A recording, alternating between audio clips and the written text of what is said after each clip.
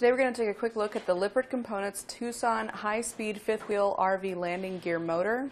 Now this is going to upgrade your existing system with the electric motor so that you can get your landing gear deployed quickly and easily and get on to enjoying your camping trip.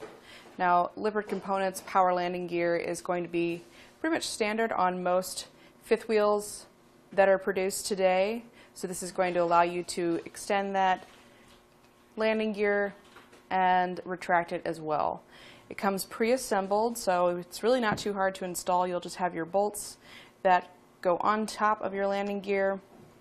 Now this is just the motor by itself. It doesn't come with any other equipment or uh, hardware for it. So if you need any other components, you will have to pick those up separately.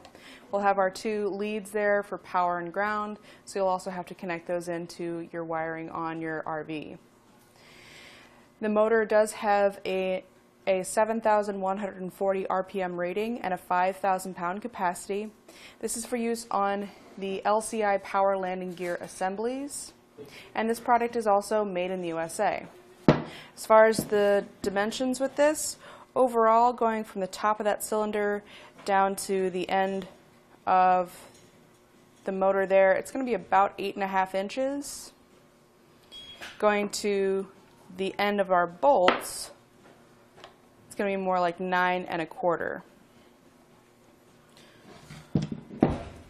As far as our width, can be at about four inches. And depth overall is going to be about three and a half. And that's going to do it for our look at the Lippert Components Tuson high-speed fifth wheel RV landing gear motor.